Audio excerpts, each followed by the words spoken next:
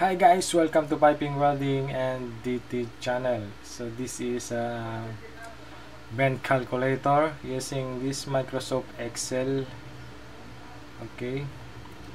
We have here uh, LR bend. So this is uh, our LR bend. So and we have a radius here. Okay. So this is our radius and this is um, LR bend. So LR bend is uh, starting to one half inch. So one half inch equals to 15. So 15 millimeter. Okay. Please follow this uh, my cursor and uh, LR bend up to one half 15 millimeter to this is um, 60 inch so 60 inch is a 1524 millimeter okay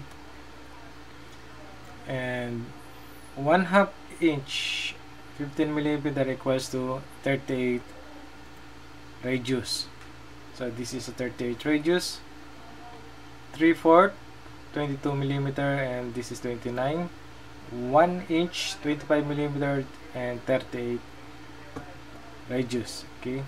Radius and LR bend okay? Now we have um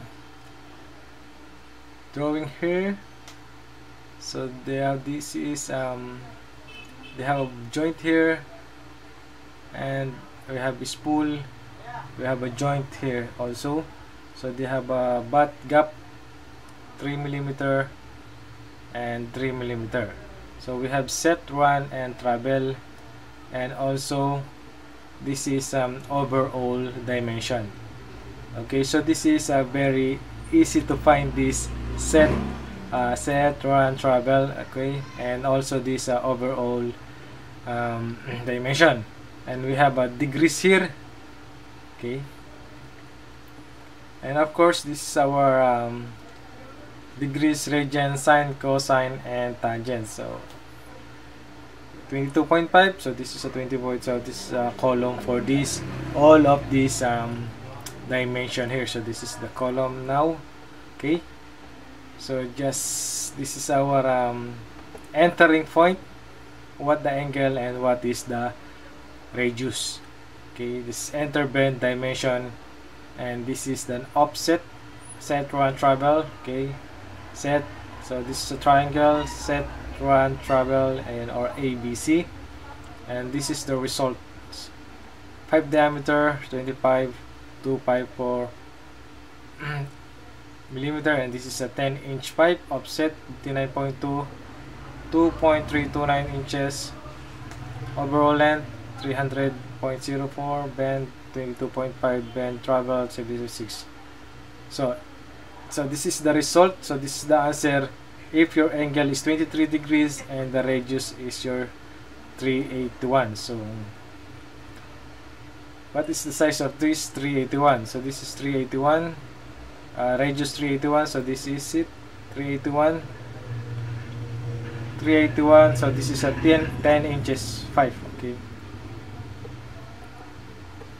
So we will make example for this. We will enter the dimension here okay.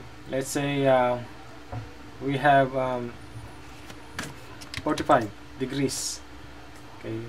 So we will uh, change also this radius now all change also all the results here are changing because of uh, we are changing the the degrees of the angle and we will check this um, this 12 inch okay? So 12 inch is a 4, 4, 4, 457 radius 457 so this is the results here okay?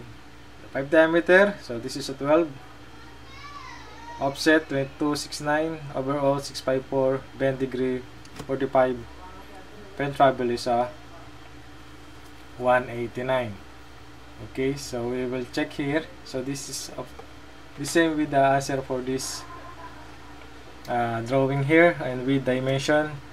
So this is our uh, 45 degrees. So this is a 45 degrees and we have a 457 reduced here So the answer for this set is 269 run 269.8 so this is the same because we are the same uh, we are uh, 45 degrees here. So this is a square and the travel is 30 381.6 okay. So this is very useful calculator using this Microsoft Excel. Okay. So anyone? Need this one is this uh, Microsoft Excel just uh, email me in a GSS agir9383 at gmail.com okay? Or, or comment my uh, comment just comment here in these videos and uh, I will show you the this um, calculator using Microsoft Excel. Of course just sharing my uh, share my uh, this video and like it okay for uh, the benefits for the others so that they view all my videos regarding this piping calculation. Okay so thank you so much and have a nice day. Bye bye